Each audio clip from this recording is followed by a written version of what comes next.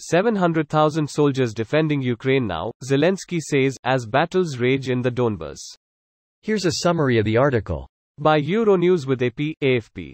Some 700,000 Ukrainian soldiers are now actively participating in defending the country, Ukrainian President Volodymyr Zelensky said in a televised interview on Saturday. In comparison, Russia deployed anywhere between 100,000 to 190,000 troops when it launched its invasion on the 24th of February, with the exact numbers of currently active units unclear. The Moscow forces continued their assault in the east after claiming victory in Mariupol on Friday as the last Ukrainian defenders holed up in Azovstal laid down their arms. Follow the day's developments in our live blog below and watch Euronews TV coverage in the video player above. This post received a score of 19,000, with an upvote ratio of 96%. Here are the top comments in response to this article.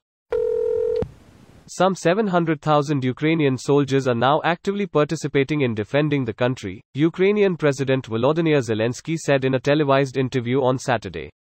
In comparison, Russia deployed anywhere between 100,000 to 190,000 troops when it launched its invasion on the 24th of February, with the exact numbers of currently active units unclear. I wonder how many of the 700k are foreign fighters. IIRC, the number is around 20 to 40k. Normally about 10% of the army is doing the heavy lifting. I imagine the foreign fighters are pulling a lot of weight. My understanding it was the opposite. Ukraine doesn't want its foreign legion wreck to give Russia a propaganda win so they are not front line. Also there is a hell of a lot you can do without being at the coalface. A fair bit of the Foreign Legion also left because they were either way in over their head or that the war really got to them because this isn't Afghanistan, it's way worse than that.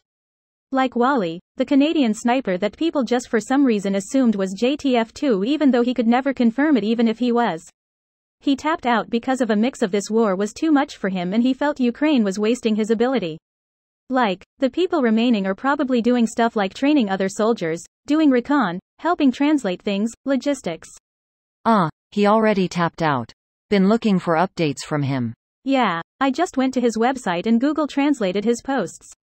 Ukraine was also really bad at supplying him as well, their army was unprepared to deal with a foreign legion coming in.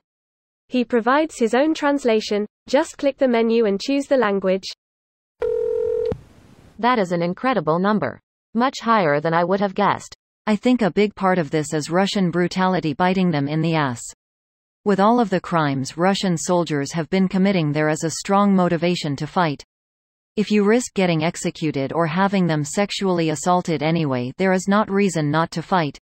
Yay. Indiscriminate shelling, executions, rape, etc is not going to make anyone want to surrender or even think of Russians as liberators.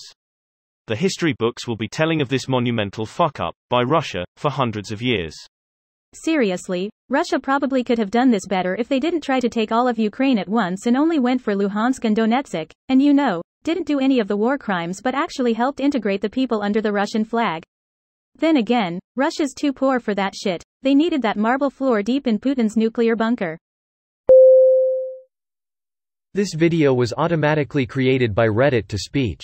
The article and comments in this video were selected from Reddit according to their upvotes, and any paraphrasing was performed by smmry.com, without any human intervention.